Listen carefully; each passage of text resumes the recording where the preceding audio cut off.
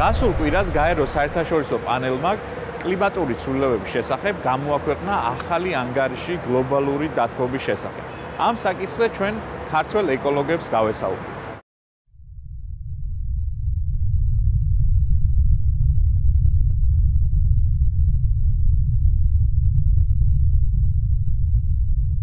გლობალური დათბობა სინამდვილეში ეს არის პროცესი, რომელიც გამოიწვევს მთელი მსოფლიოს გარშემო კლიმატის ცვლილებას. ანუ მოხდება არა ამინდის, არამედ კლიმატის ცვლილება. რამდენიმე ტერმინი ფიგურირებს ყოველთვის აქ. ეს არის სათბური გაზები, ეს არის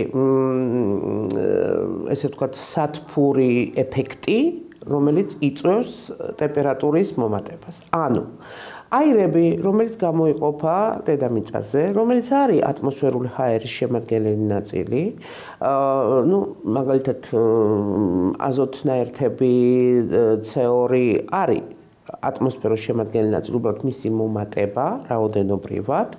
იწვევს იმას, რომ ის ქმნის ეგრეთ წოდებულ აა გარს, რომელიც აღარ აძლევს საშუალებას მზის სხივს შემოსულს დედამიწაზე გავიდეს გარეთ. და ის ადგილზე ჩერდება. ეს იწვევს კლიმატის ცვლილებას.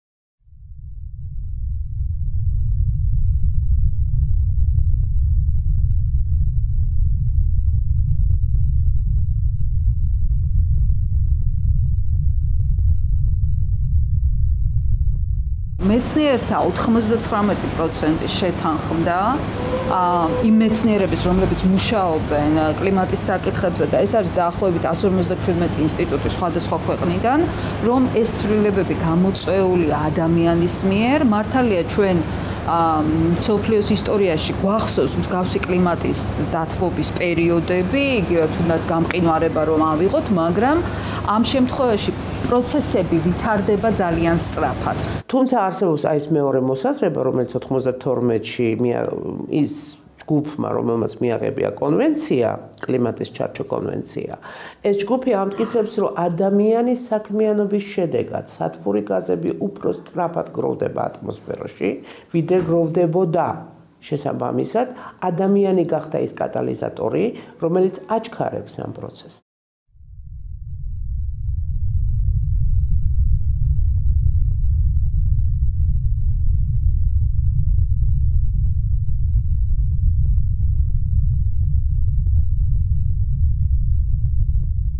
როცა ვლაპარაკობთ ვთქვათ პარიზის შეთანხმებაზე, ახლა ძალიან ხშირად ვლაპარაკობთ, რომ ყველა სახელმწიფო მაიღო ვალდებულება სათბური გაზების ემისიების შემცირება, ანუ გაფქვევის შემცირება ემისია არის გაფქვევა ამ შემთხვევაში. მთელი არსი აი ამ პარიზის შეთანხმების არის რამენაირად შევამციროთ რაოდენობა სათბური გაზების გაფქვევისა, რომ ტემპერატურამ არ მოიმატოს 1.5 გრადუსზე ზემოთ.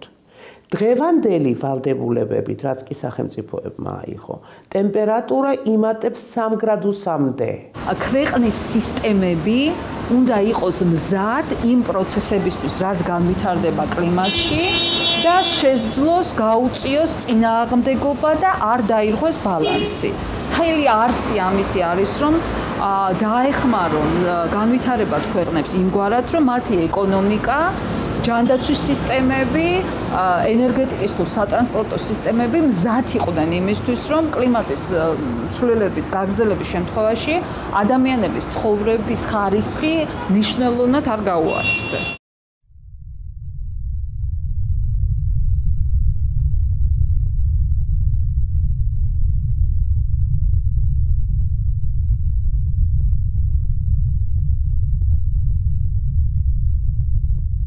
პირველი რაც შეიძლება მოხდეს ჩვენ კარგავთ პლანეტაზე მცირე კუნძულებს. მარშალის კუნძულები მთლიანად იწირება ამას მოყვება დანია და სკანდინავიის ქვეყნები მაგალითად კოლხეთის დაბლობი შეიძლება ჩაიძიროს და ჩვენ აღარ გქონდეს ესე იგი მარტო ფოთის პრობლემა კი აღარ გქონდეს, არამედ მთელი სანაპიროს პრობლემა შეგვექონდეს.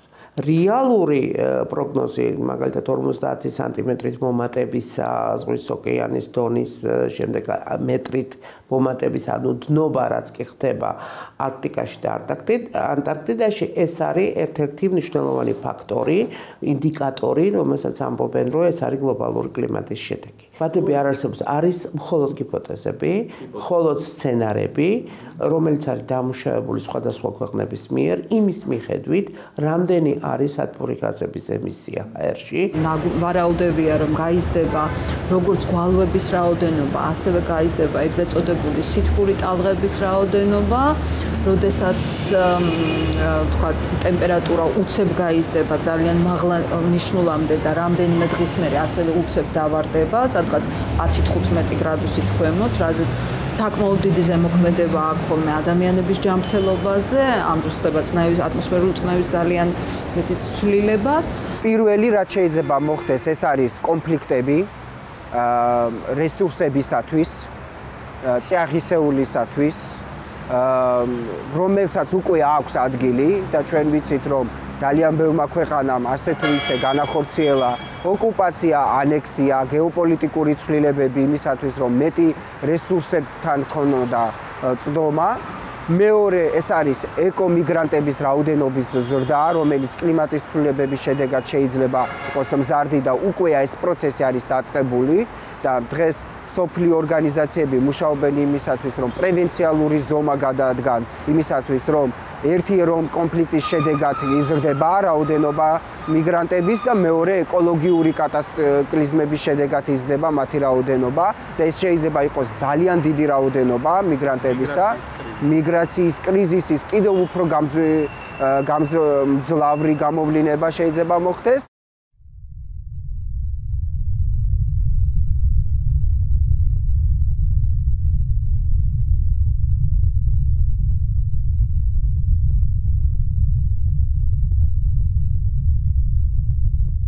საქართველოში უკვე დაფიქსირდა საკმაოდ მაღალ ტემპერატურიანი ზაფხული შესაძლებელია რომ კიდევ უფრო გაიზარდოს.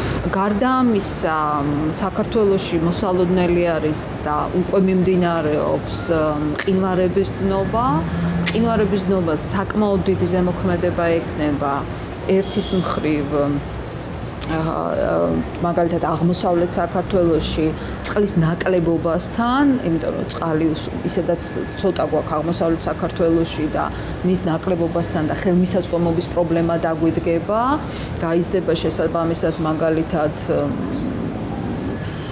ირიგაციაზე მისი მოთხოვნილება, ხო, პრობლემა იქნება, თქვათ, ეროზია გაიზრდება ქარისმიერ, თქვათ, აღმოსავლეთ საქართველოში.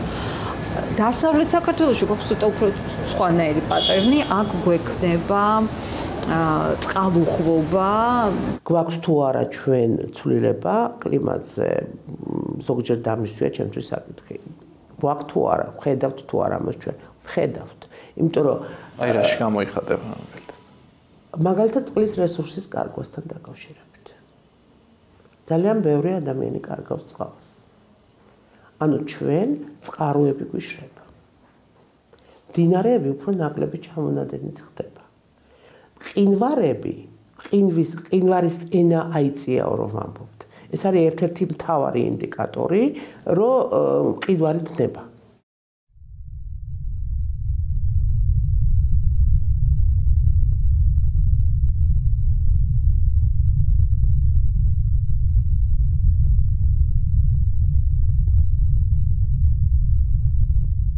ძალიან ბევრი ორგანიზაცია, ძალიან ბევრი წამყვანი კორპორაციები მთელ სოფლიოში ყოველდღიურად აცხადებენ, რომ ისინი არიან მწვანე პოლიტიკის მომხრეები, როგორც არის Coca-Cola, როგორც არის Facebook-ი, როგორც არის Google-ი, რომლებიც თავის მაგალითზე აჩვენებენ, რომ ისინი მიდიან და ნაბიჯებს დგამენ მწვანე პოლიტიკის განხორციელებისკენ. მეორე იაფთება დღითი დღე ალტერნატიული ენერგომატარებლების საშუალებები, რაც ასევე ზრდის საშუალებას, რომ ინდივიდმა, ცალკე აღებულმა მოქალაქემაც გამოიყენოს ეს შესაძლებლობები. დიახ, მზის ენერგია, ქარის ენერგია და ასე შემდეგ. და მე ვფიქრობ, რომ უახლოესი ათწლეულებში ჩვენ გვექნება სრულიად სრულიად გარდაიქმნება სამყარო. რა თქმა უნდა, საბრძოლველი ბევრია, скеპტიკოსები, როგორც ჩვენ უკვე აღვნიშნეთ, ბევრი არიან, მაგრამ ბუნება თავის საქმეს აკეთებს და ამ შემთხვევაში ბუნება არის ჩვენი, ასე რომ ვთქვათ, პარტნიორი, მართალია ეს ნეგატიური ზეგავლენას ახდენს, მაგრამ ამ შემთხვევაში შეიძლება ვთქვათ, რომ ბუნება ყველაზე ზუსტად ამბობს, რომ ცვლილებები ხდება და ჩვენ უნდა ვადაპტირდებთ ამ ცვლილებებთან და მოვახდინოთ პრევენციალური ზომების გატარება. ჩვენ შევეცადეთ მოკლე დროში გაგვეგო რა არის გლობალური დათბობა, რა არის კლიმატური ცვლილება. თუმცა ბუნებრივია ეს საკითხი კიდევ უფრო მეტ ანალიზს და ჩაღრმავებას მოითხოვს. გმადლობთ რომ უყურებთ 52 პარალელს. მოგწერეთ, გამოგვეხმაურეთ. ჩვენ აუცილებლად გიპასუხებთ.